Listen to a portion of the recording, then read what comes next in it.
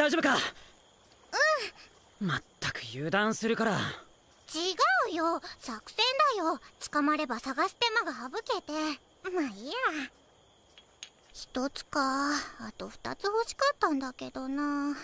欲張りすぎだ。ドロップ率から言ったら。うわなんで裸なんだよ！濡れた服なんて着たくないよ。ここならすぐに乾くしね。インナーまで脱ぐことないだろうが何怒ってるの？いつも一緒にお風呂入ってるのに。いつの話だマジの1120個ってきつくね？やっぱでもあれで作ったアクセとか変幻のセンスに補正かかるし。いやもうちくしょ。うハルト。おくそ。こんな時間からイチャついてやがる。ああ白けんな。場所変えようぜ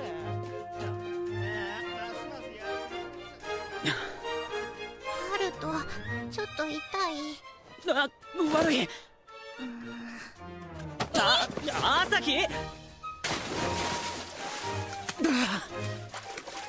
この間までこうして裸でもハルトは全然平気だったのにね。私もハルトみたいに6年経ってたらお母さんに叱られるかな。当たり前だろ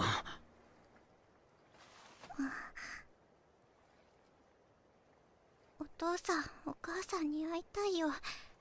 現実のみんなにだって会いたい。朝日。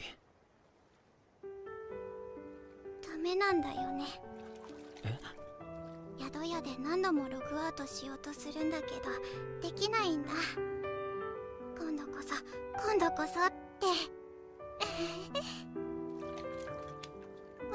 そうやって無理に笑うなよ俺の前では無理するな。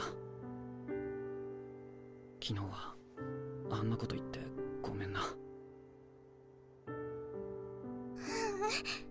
ルトがまた戻ってきてくれてよかった。